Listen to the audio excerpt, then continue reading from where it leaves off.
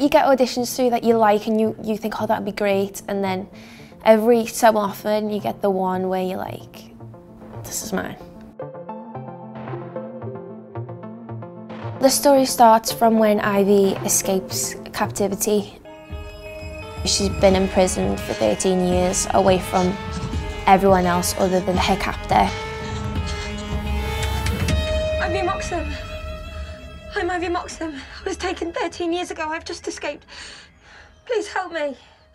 I read a book um, which is about a girl who got kidnapped in Austria when she was 10 and she escaped when she was 18 and that gave me a little bit more of an insight as to what she went through.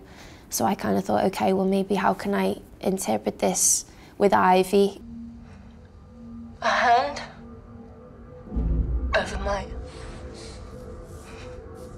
in my neck. Dragged back.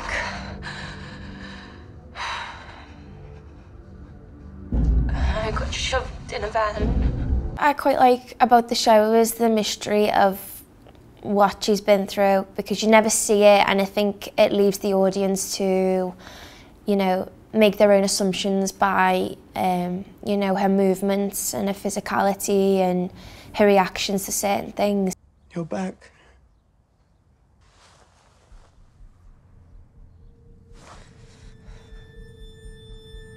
Back in a minute.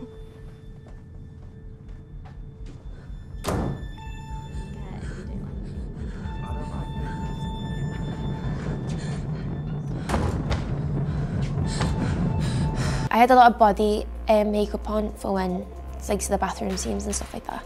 Um, and that kind of showed self-harm, hair, bruises from what she'd gone through and that really kind of took me back a lot.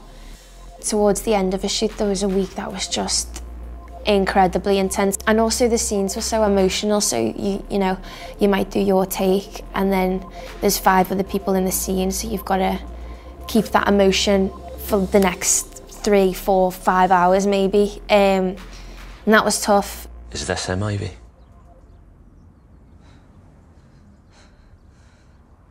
What happens now? Well, we circulate the image citywide.